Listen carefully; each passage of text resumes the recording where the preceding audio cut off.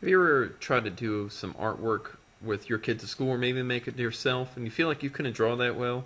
Well, my students face the same thing, and what, being an art teacher, whenever they try to draw something they couldn't do it that well, they instantly shut down.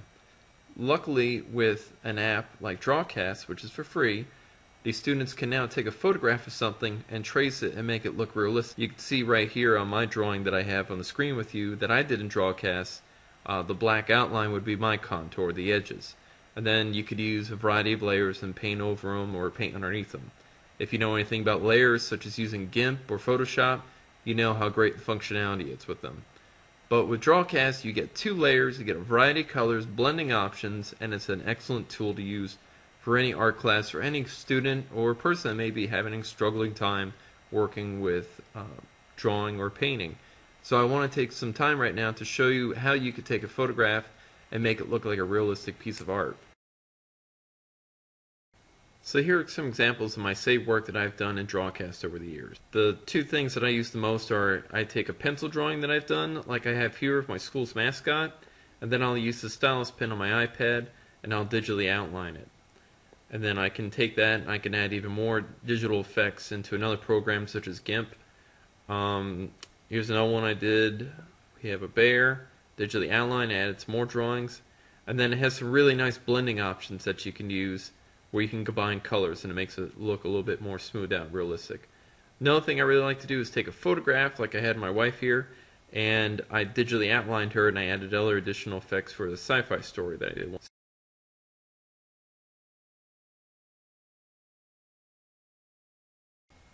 A lot of times when my students first start to use this program, somebody else's picture might be on there and they're like, well, how do I get rid of it?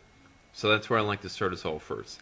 Let's hit the gear all the way in the upper left hand corner. We're given these options, and you can always see the ways that we could share that photo as well and save it to my photo library. So we're going to make a new drawing, and you have your options. You can start with a black screen, a white screen.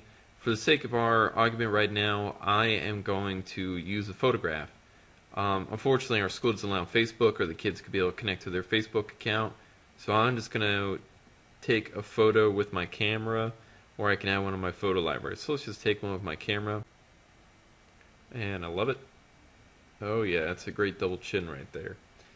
So I can zoom in, get the photo where I want it, range it, and hit done. Notice where it says top is up top. You want to make sure that's ready for your photograph.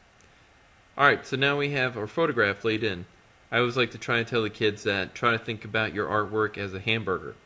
Uh, the bottom bun is my photograph. I'm going to make two layers on top. So if you see the M right up top, we have our midground and our foreground. You can also address uh, the intensity or the translucence on it so it can be a little bit more faded on some layers. We don't have anything on it right now.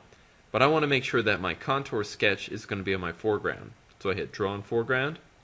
And now it says that option, it's active. So I hit back.